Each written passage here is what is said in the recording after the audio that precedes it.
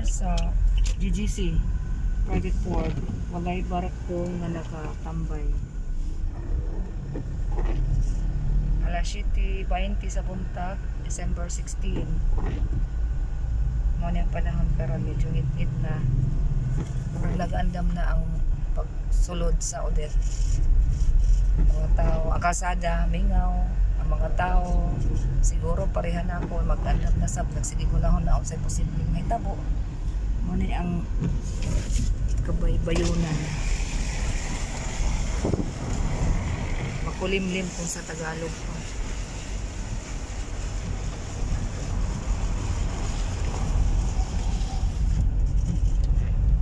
Arita karon sa syudad. White traffic. Naaman pila lang ka mga sakyanan ang nagdagan sa iyo pa man sab paingon mi sa merkado tanaw nato abay nag-abli. Nga mga tindahan palit tag utanon kay wala para matakapundo og utanon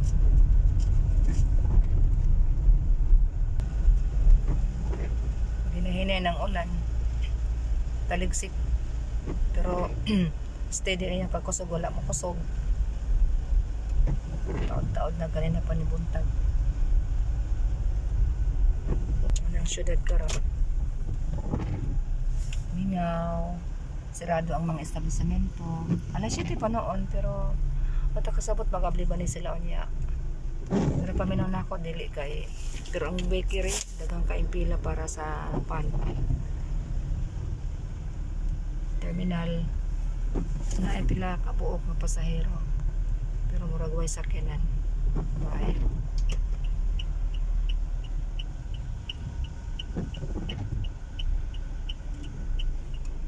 ang port.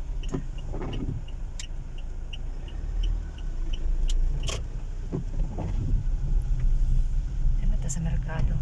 Sulod na nga tutaran masarado.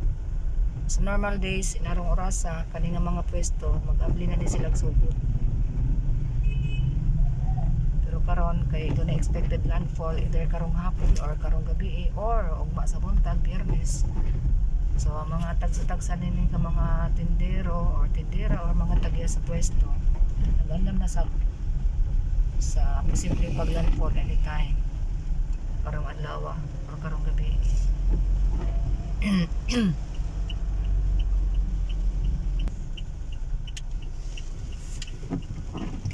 ngit-ngitan ka ayo sa langit wala siya katint ang bildo pero ngit-ngit kasi siya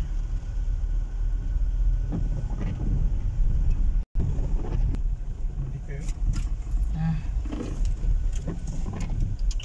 ingaw pila nga nag-abli? Karamihan doon sa nag-abli. Medyo hangin na gamay dire sa merkado. Kapila na ito ang hangin. Ato ta karon sa taas, palit ta og utanon base na apoy magabli dito. Rita dire sa taas. Mayo dire kay medyo barato. Ya presko. Ato lang baktason sayo pa man.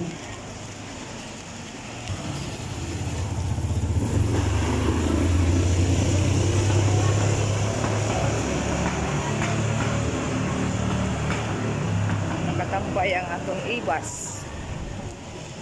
Ni sa dinhi ang atong paradahan sa ibas. Dire mga private vehicles. Second floor sa City Public Market parking area. Pero diri sa unahan ni mga ibas. Diri sa unahan di dire mga kanon. Ay salamat Gabli. Una ang building yung building di sa merkado. Mo ni siya ang connecting na bridge. Dire pa ingon sa city. City area. Lagi nag-abli Ay, salamat na agad Nagay tayo mapili karon ng mga tanon talong. Pilang kilo sa talong manong? Yan, sikwita. 50 ang okra Tagpilang okra. Ang okra o sinta ko no, kaya wakay bawas yung ano. Ang ampalaya? Pilang ampalaya? Wa ko ni tindira diri. Wa Manong kay Baw. Sige, aritas pikas kay na may lain. Ay, nakunong tindira. Wa si Manang.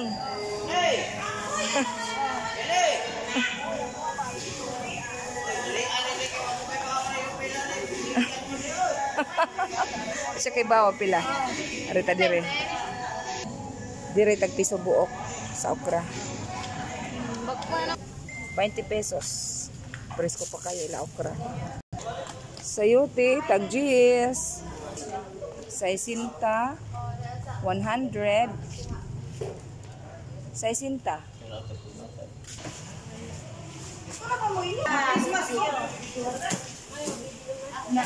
saisinta ko nung kilo bagong abot. Dinigi ka nimong kamatis. Kabingtan, ma'am. Ah, daghan di. Okay. Kusog halin karon, ma'am.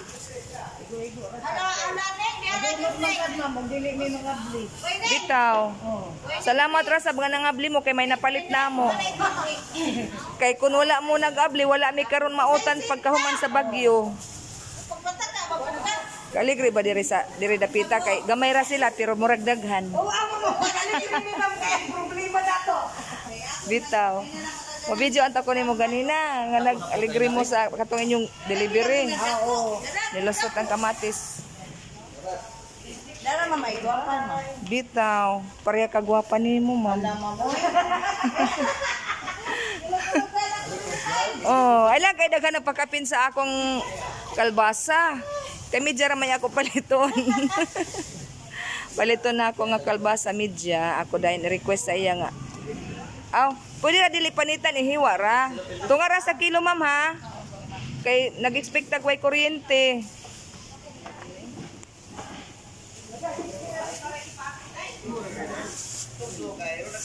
Ika nagkamatis gikan kuno ni sa kabintan.